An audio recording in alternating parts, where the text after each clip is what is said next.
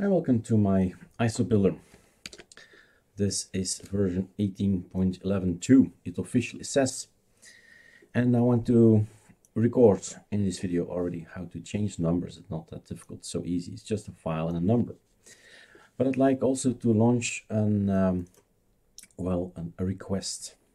You see this wallpaper? It's an awesome looking wallpaper and it's almost, almost the A from ArcoLinux. So, if there are creative minds in our little community who say, hey, but I know how to do this, and I can even do it better, please be my guest. Um, try to make something beautiful with our ArcoLinux logo. That's that. Now this little file that uh, says we are a particular version is in the etc lsb release. But none of that is actually the topic of our video. Not yet. So 18.12.7 is the latest one. That's it. You can change this number anytime and you'll be just fine. There you go. You have now the latest version 18.12.7 if you did uh, the updates and the scale and the CB and the PKS YUA, the video I just created, then you are in 18.12.7. All right. Now there is a particular file at this point in time that I created. That's in Control H in the dot bin. That's a new folder we have here, stay rolling, 18.12. It's videos about phase 6. There are already a few articles around on arcolinuxiso.com and they're mainly about the package build because it's quite essential if you want to make your own uh, Arch Linux spin-off or distribution.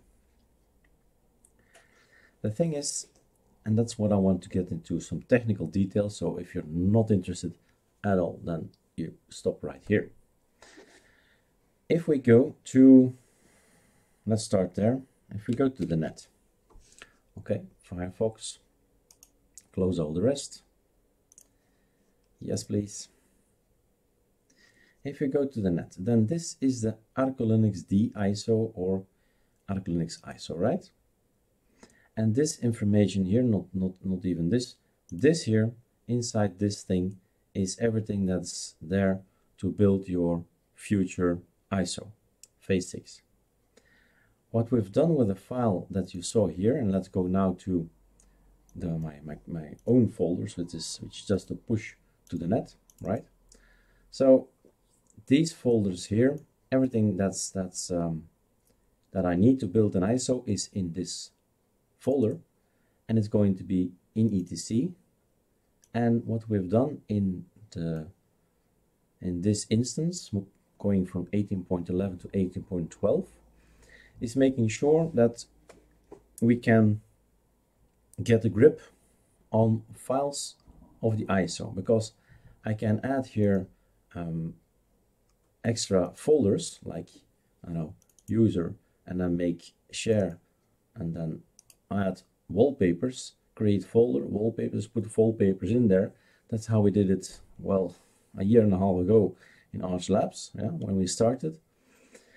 But then you can't manage them. Anything you write on this ISO in this way, you cannot change it later with sudo pacman and, and, and remove it or, or install it or anything, update anything. It's, it's not done. It's not possible because it is in this folder. Anything that's in here needs to be in there because otherwise we can't build the ISO. That's the reason for it to be there, right? But if it's can be packaged, if we can we be managed in a package, we should. And that's the last thing we've done now. Last move um, is this little script that's there. So let's take it, take a look at it in detail. This is Openbox. I can just drag it. I need to press super 4. Then it's half of my screen, super 7. And it's a separate keyboard, separate numbering keypad. That's how it functions so fast, right?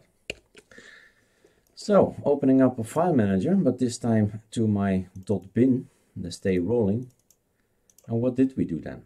So open, with Atom, it's good, yeah, why not? Takes a little bit longer, but it opens.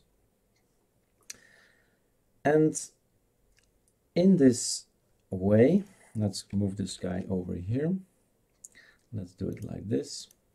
What we've done is anything that's going this these things are the structure on your ISO. So everybody has an etc file. In your file system, you have an etc. This is your file manager, right? You have an etc, you have a root, and you have user. These, this is the structure of your root. This is sometimes what they call router, also the root directory, etc. But normally they refer to this, to this slash. So everything that's on here is going to go on the ISO, but not everything needs to go there and something needs some of the things need to be deleted after we build an ISO. I'm not getting into that. But basically everything that we want to manage later, remove, change, add a line, then we need to package it. And this is exact, exactly what you should do when you are making an ISO later on. That's why I say maybe this is a good time to make a video about this idea, this concept, if you are thinking about making an isolator, then you need to know that putting a file on here in the Arch ISO, you never can touch it again. You never can remove it again. All you have to ask the users, hey, go open that and change that. It's solved, okay? Wouldn't it be nicer if you can just send an update with the command update here in Arch Linux sudo pacman minus syyu or something like that. And everything gets updated, right? So that's a better approach. So this is the last move. Took a look at uh, all the files that's in here and these things, modprobe, disable EVBug, another file in modprobe. So etc had in the previous version. That's interesting to know, to show you. This is ArcoLinux ISO today, okay? And when you go to some, look at some commits, and let's go prior to all the changes and go here. And this situation at this point in time is in four days ago, last commit, that's maybe 1812.5. I might even go a little bit further in time. So you go back in time seven days ago, seven days ago. Older, seven days ago, 15 days ago. Here we're at version 18.12.1. Wasn't thinking about anything like that at the time. So the structure at that point in time was different. Okay, that's better to explain. So, modprobe. At that point in time, my Arch ISO looked like this. It had a folder called modprobe, and it had a file. At this point in time, no, not the one, that one. At this point in time, modprobe is gone. So we have took a look at the files we had and we said, okay, what files can we move to a package? remove from the Arch ISO. Power is then, if it's on a package, Pacman can manage it. We can delete it, we can remove it, we can edit it, we can just do it with an update rather than saying to people, hey, open up modprobe, go to disable EVBug and change and add blacklist, blah, blah, blah. That's the power of a package. That's the power of Pacman, your package manager. So that's one thing I wanted to get out there. The knowledge already out there. It's phase six, I know. Um, but it's an opportunity at this point in time to tell you to get at least amount of files on your Arch ISO and as much amount of files in a package. So this little script that's running here, I had to make it, and, and that's why I'm sharing it also in the .bin. It's very easy. But like basically it says if there is a file like that, I don't know, in what phase you are, how much you have followed our ArcoLinux. So if it is there, then you um, remove it, right? And it goes on like that. If this is if this is Let's take a look at another one. So this side here is back in time, you know, 18, 12, 11. So you can always get a look at what used to be, right? systemctl.d. There it is. That's going to be removed. It is removed. It's no longer here. It's no longer Arch ISO. That's the point. And the same applies to all the rest. An icon and all that, those things. You never know that I need to change the icon or want to change the icon. I just update the package and done. So all these things have been created. And the last thing is then a package. And we've made enough, enough videos about how to create a package. But this ArcoLinux system config git is somewhere. Well, let's take a look at the net first. Because you're not on my computer, but it's already here. System config, updated three days ago. So, etc is here, modprobe is here, the three guys are here, and the other one we've uh, seen was this one. And all the rest is there as well. So the package is clearly um, cut, cut and copy, cut and paste, you know, from one place to another place. But the advantage is this is now a package. And that's the thing. Uh, we need to install it from now on. We need to update it. And that's this little script that's going to run. If you run this thing, finally it says delete, delete, delete. Why should we delete it? If we don't delete it, then we get conflicts because the file is already there. And Pacman says, hey, you want to you want to add something? That's maybe interesting, and I don't think I can show you that. I can show you that if you give me a moment.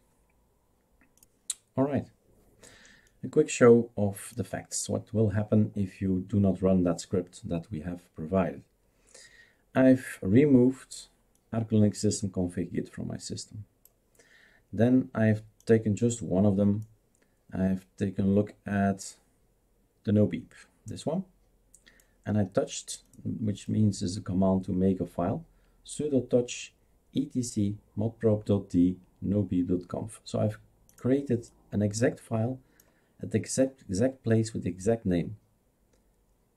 And what happens then if you want to install this package. So arrow up Eric and just replace an R with an S. And then you are not removing, but installing. And we say yes to the system. And the system says fail to commit transaction, conflicting files. And it says it exists already. My point being, and I wanted to show you the error, that the file exists already in the system. So Pacman doesn't know it's there. He sees it, something is there, but it doesn't even know what package is ruling it, what, what package is giving it. Because we wrote it, we made it ourselves. It was on the Arch ISO. And that's the thing you'll get if you do not run the script. The script first cleans out all the conflicts, these things. Is a conflict actually because the file exists and Pacman wants to write to it and he can't. So in order to fix this, you need to remove it and that's why this line sudo remove? Now without this line it, well let's copy paste them. Without this line it will not work. Control shift v. Done. Installing it again and everything is fine. No blockage there is no conflict because the file is not there and just going to write it doesn't know any better so that's why uh, it's important that you try, if you make an Arch ISO in the future, to get as, as less uh, packages, packages on the Arch ISO and as much in a package. And that's the last and the newest package called ArcoLinux, the system configuration. Okay. Well, I hope it was enlightful or I'd say insightful um, for some of you. Um, it's not for beginners in Linux making an ISO, but it can be a challenge, can be interesting as well, can be a learning experience. It is for me. And um, it's a video that's going on the arcolinuxiso.com for phase 6. All right, enjoy.